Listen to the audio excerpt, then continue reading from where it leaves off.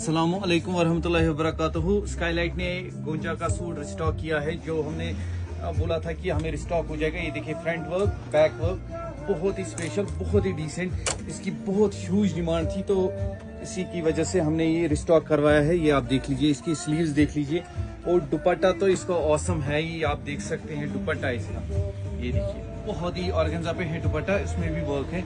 ये देखिए, आप डिसेंट सूट हिट कोड है गोंजा का, ये देखिए आप दूसरा।